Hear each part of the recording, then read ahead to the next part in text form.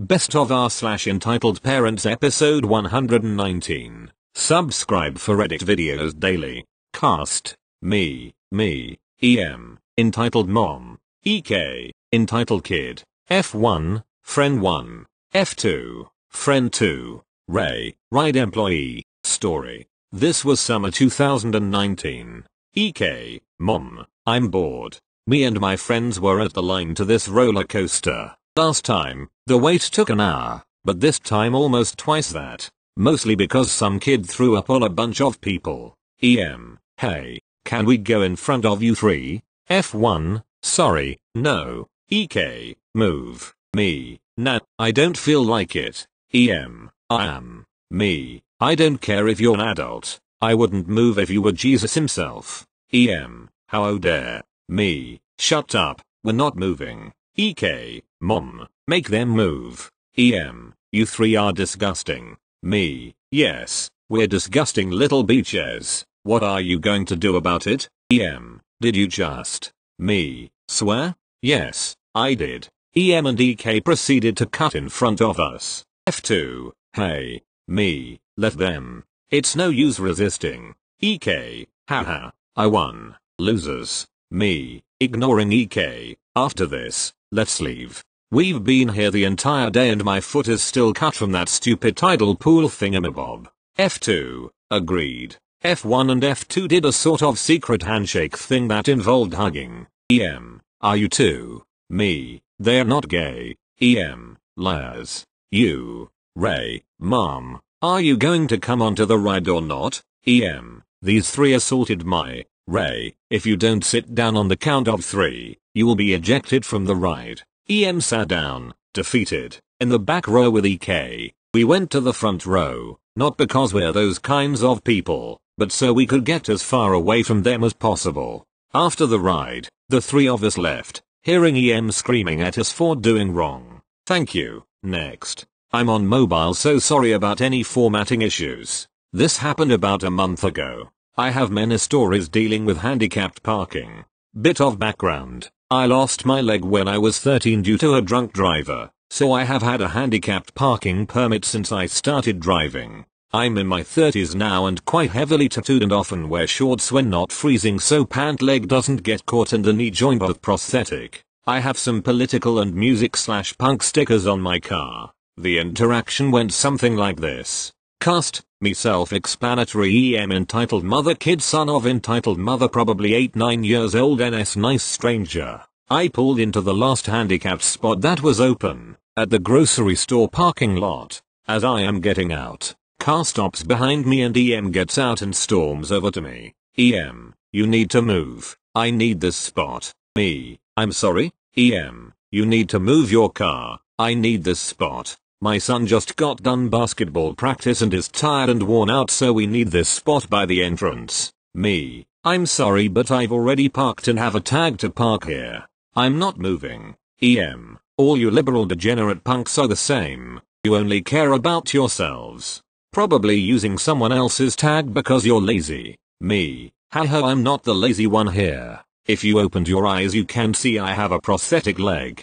Now I'm going to do my shopping. I thought that would be the last of that but 15 minutes later I'm turning into an aisle and accidentally bump carts with EM. EM, how dare you? You did that on purpose. That's assault. I'm calling the police. Me, I'm sorry, I didn't see you, but I promise you it wasn't on purpose I had no idea you were there. EM, liar. Just like you are lying about being an amputee so you can steal parking spaces me. Can you not see the fact I have a prosthetic leg? EM, it's fake. You probably have your leg bent up. Me, yes it is a fake leg. It's a prosthetic. I guarantee you it is missing. I try to move past to continue shopping. EM, you are staying right here you still assaulted me with your cart and could have hurt kid. Kid, mom let's just go. EM, see my son wants to go because he is hurt. Hope you are happy.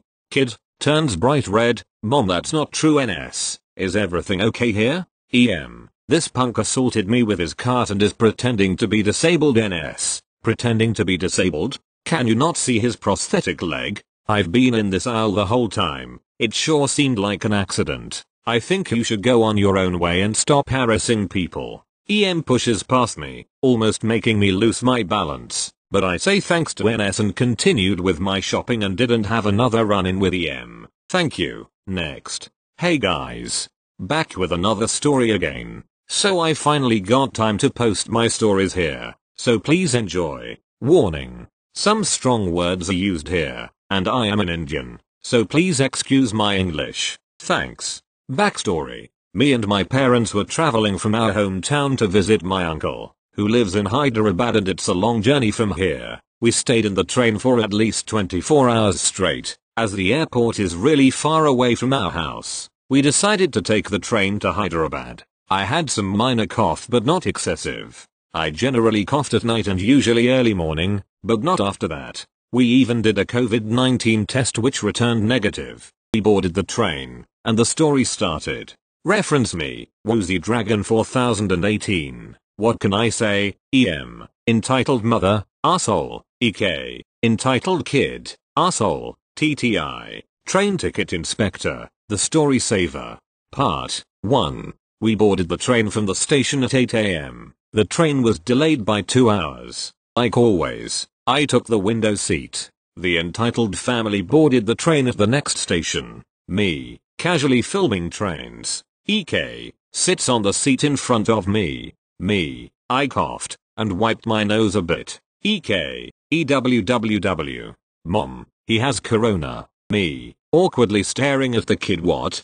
EM, hey you, get off the seat right now. Me, and why is that so?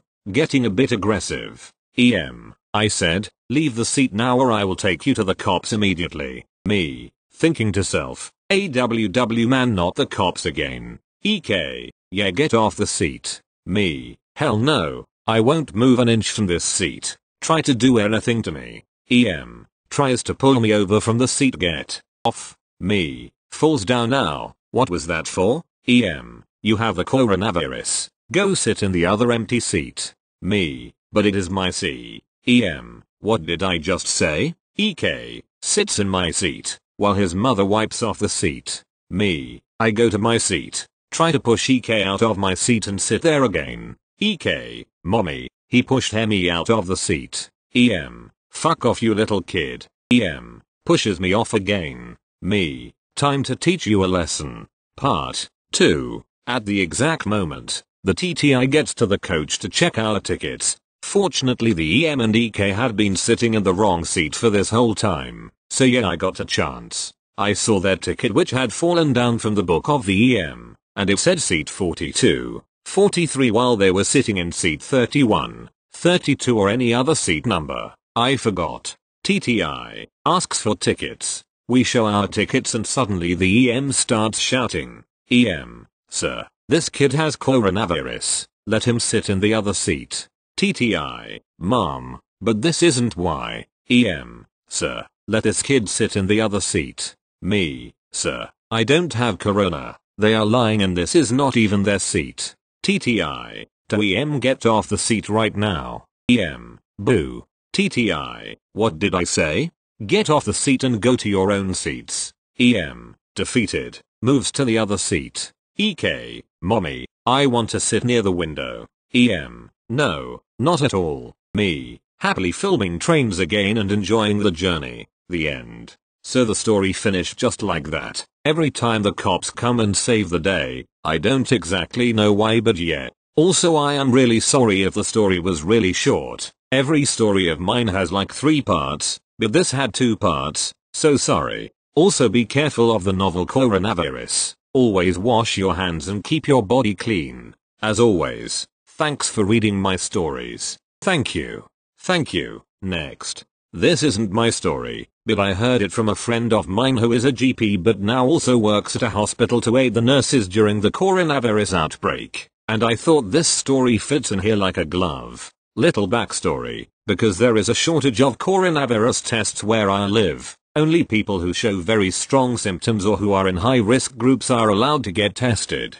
So this woman and her child, who was around 10 years old, enter the hospital which is already really crowded and chaotic since the crisis, and loudly demands to the receptionist that she wants a coronavirus test, since she wasn't coughing, didn't have a fever, and neither did her son. and both of them appeared healthy. The receptionist declined her demand and told her that they can only test those who are very sick or are in high risk groups, which they weren't. This apparently made her very angry and she began loudly yelling that she demanded that her and her son get tested. When her demand was again denied, she climbed on top of the receptionist desk and started yelling again that she and her son needed to be tested. When the receptionist got her off the desk, she then started fake coughing right in her face and around the hall. Then she apparently threatened that if she and her son didn't get tested, she would go to the intensive care unit to cough on and infect the patients. Thankfully at that point, security arrived and forced her out of the hospital. The police got called just in case she would return, which she thankfully didn't. Since she was a regular at that hospital, they could give the police her personal information just in case she would do the same at another hospital. TLDR, woman demanded coronavirus test for her and her son despite not having any of the symptoms, climbed on the receptionist desk, coughed on the receptionist and then threatened to cough on ICU patients. Thank you, next. So it never occurred to me I never posted this old story here it's also a good break I suppose amid all this virus entitlement swarm. So this was back during middle school when I was very active at our local playground. Now our park slash playground is moderately sized and has a playground on either side of the park with a fountain in the center dividing the areas. Now what I'll call playground 1 is our usual grounds for our game we call metal or monkey tag. This involves tag but only allowing to stand on metal parts of the playground railings, bars, slides etc. Now playground 2 was the same but it had no real connection between jumps for us. While in the middle of our usual gaming comes running a group of kids who were about 6-8 to guess, and on one of our jumps we narrowly missed one of them. After we checked if he was okay this is how it went. EK, yeah I'm okay. Me, sorry about that. But is it alright if you guys use the playground too? While we're here we don't wanna accidentally hurt you guys while we're here. Friend 1, we'll be done soon. Don't worry we won't take too long. His group of friends and him seem to appear to accept this at first. As we go on jumping the kid comes back. EK, can I join you guys? Us. Sorry it's very dangerous and you could end up hurt.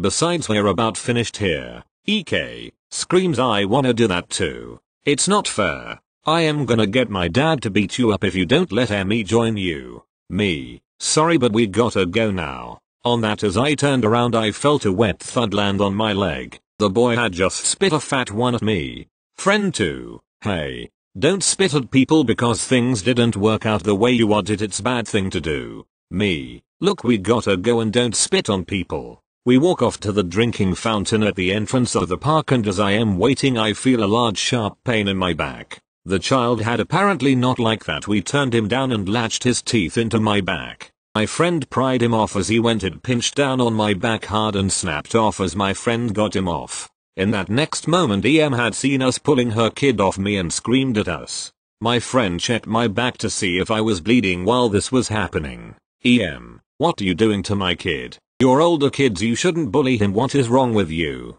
Friend 1. Your kid just ran up and bit my friend. EM. There's no way he would do something like that he is a well behaved boy. Besides he's only playing around you should just let him do what he wants. I turned around and my friend lifted up my shirt to show bite marks and a nice small trickle of blood. EM. Well if he did bite you, you probably did something to hurt him first. Me. All I said is he couldn't play with us after he spit on me and then he jumped up and bit me. Control your kid. Was not being polite I was pissed. EM. Well why not? Are you leaving him out of your games because he's younger no wonder. You deserve that bite. Friend 2 points at playground specifically a bridge section to another bit I am not sure what it was called but it was a longish jump we barely make. And was clearly a jump probably three times more distance the kid could make.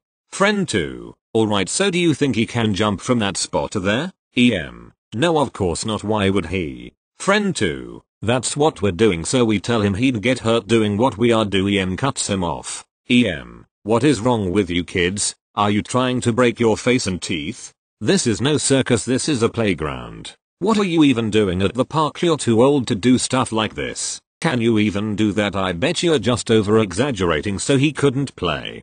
Friend 1 casually walks over to the playground makes the jump lifts himself and then hops off. Friend 1. They're happy now. We're leaving bye bye learn to teach your kid not to bite people or spit on people if things aren't going his way. EM. Well my kid could make that jump too. Go play with him he can beat all of you dumb shits at it. Completely forgetting her initial claims of her child not being able to make the jump and slash or breaking their face. I was about seething at this point from the whole situation and I guess my friend noticed the look in my eyes and just grabbed me and just went let's go we got dinner to grab. EM as we walk off. You kids are animals and shouldn't be allowed here you're a danger to every kid.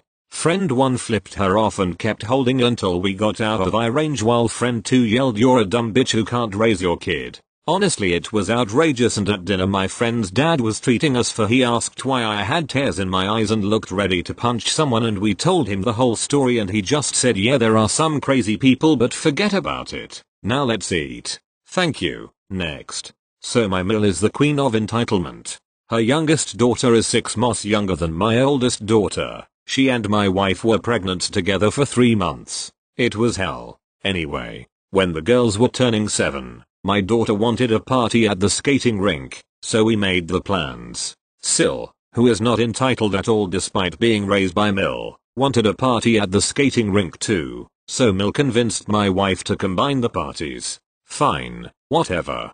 Except she also threw a party for her daughter the night before the skating rink party in case someone couldn't attend the real party. So, when we're all at the skating rink and the kids are having fun, MIL notices that my daughter has a slightly bigger pile of presents than her daughter. She starts complaining that people are showing up without presents for both kids. This isn't whining. She is spitting venom and trying to get the other adults to hate on those who didn't bring her daughter a present. Most of those people had attended the birthday party the night before and had given her presents then, so they didn't bring one to the second party. MIL said if you're invited to two parties, you should bring a present for each party which was asinine enough, but then FIL and his brother arrived. Now, my in-laws had been divorced for over 18 years, and my SIL is by MIL's second husband. MIL goes out of her way to be nasty about FIL and is guilty of parental alienation when my wife was still a minor, so it burns her grits that my wife and FIL have such a great relationship. When FIL and brother show up with only presents for my daughter, my MIL goes absolutely nuts. Now, SIL has quite a load of gifts, and all the gifts from the night before. She's enjoying herself with the other kids so she doesn't notice that my daughter has a few more gifts than she does. This is all my MIL throwing a fit. She tells my wife that if FIL didn't want to bring presents for her daughter, then he shouldn't have come at all. My wife had had enough at this point and finally goes off. She tells MIL that FIL had no idea the parties were combined, and that he is here to see his grandchild, that SIL has more than enough presents at home and we will never be combining birthdays again. MIL pretended to suddenly feel sick and went home early, leaving us to clean up the party package she insisted we spring for, but hardly needed. Edit. My daughter's birthday is a little over a week after Christmas, so we celebrate her half birthday. Thank you. Next. I. Who else am? Entitled Mother eck, Entitled Kid. So I should start off by saying I suffer from a minor disorder called ADHD, Attention Deficit Hyperactivity Disorder, which basically means if I don't take my Adderall I have a hard time paying attention and sometimes they wear off and I have to take a smaller dose to get me through the rest of the day so I carry a bottle of extra pills. And I am on mobile so there will be mistakes and this happened a while ago way before coronavirus was spreading or even thought about it was in 2018 to 2019 school year. So my school's VEX team made it to Worlds and they were off competing so the rest of my team was watching. I volunteered to stay back and watch our other robot then they leave. I'm on my phone playing and every so often I would look up and survey my surrounding watching for people running so they wouldn't knock over our table and destroy our robot. It was good for quite a few minutes until here comes EK running so I watch him to make sure he doesn't get too close then he slows down and walks toward our pit area. So when he gets too close to the robot I say hey, what are you looking at? I said as nicely as possible he says your robot it is so cool. I say thanks I helped build all of it. Then he says can I hold it? Me being the light-hearted person I am I say sure. Boy that was a bad idea. I hand it to him very carefully and he does fine he folds it and looks at puts it on the ground and looks at it then he starts pushing it around using it like it is a toy plane so I quickly stop him and say can you not do that. It took a long time to build and I am worried you might drop it. Then he tries to run but I get the robot from him and he screams give IT back. I say no you just tried to run away with someone else's robot. Now go away. Then he says fine. And storms off then I put the robot back and went back to my routine of phone and looking up. Another few minutes pass then I notice I getting a little restless and having a hard time focusing so I take out my container and take out one of my spare Adderall and grab a water. Then I didn't notice at the time but here comes EK with his EM around the corner looking at me as I pop the little tablet in my mouth and drink my water then she walks up to me and scoffs in the most Karen way ever. Are you doing drugs? Says EM offhandedly. No it is a prescription medicine I have to take for my addict. I say. No you are not that is made up you are doing drugs so I am going to call the cops and confiscate this robot because a person who does drugs doesn't deserve it. EM says while EK is grinning behind her. I spring up and stop her she says let go you take drugs even if this ADHD exists that means you are mentally ill so you don't deserve it. Then I say like hell I will first of all it's called ADHD second of all it is a disorder not a mental illness and third of you can fuck off with your little thief of a son. She lets go and gasped I fall with the robot but luckily neither me or the robot get hurt but I decided to ruin her by screaming bloody murder. Then some people gather around ask what happened and I say she tried to steal my robot but I stop her and she pushes the robot which pushed me. Then I landed flat on my back on a wall plug facing me. She is lucky it only knocked the air out of me because if I wasn't wearing this jacket it would have went through the skin. Eventually she got kicked out and prosecuted for by my school for assault on a student and trying to steal school property but I didn't press charges for assault because I didn't want the drama but let's say next time she sees EK he will be ED, entitled dad.